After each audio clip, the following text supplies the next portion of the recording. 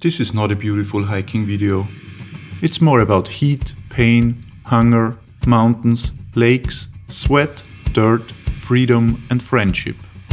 Actually, it's about walking a long distance for a long time.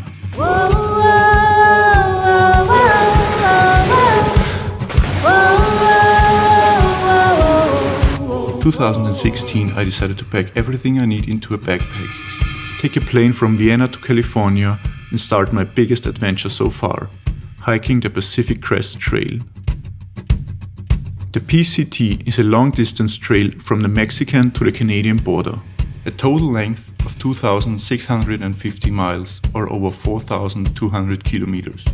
For Europeans, that's like starting a walk in Lisbon and walk through Portugal, Spain, France, Italy, Slovenia, Croatia, Serbia and Bulgaria into Turkey and reach Istanbul without hitting the full distance of the PCT. Many people ask me, why?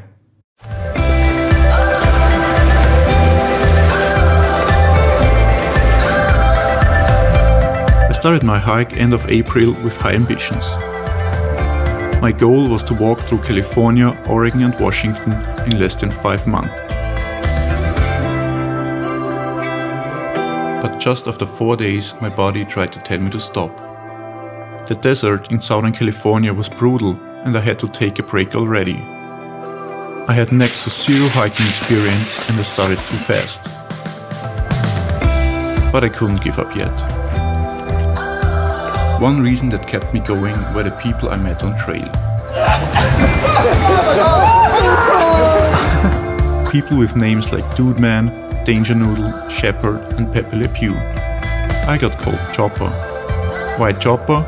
Well, because I'm Austrian and some people thought I sound like a fellow countryman. Get to the chopper! This is so funny, man. Simple names to remember, because life on trail is simple. Walk, eat, sleep, repeat.